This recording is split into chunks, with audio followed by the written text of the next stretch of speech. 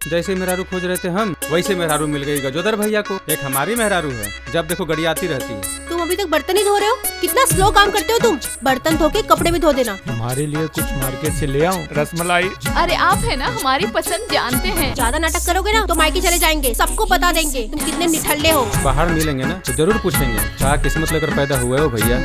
सट बासठ हिले सटा सट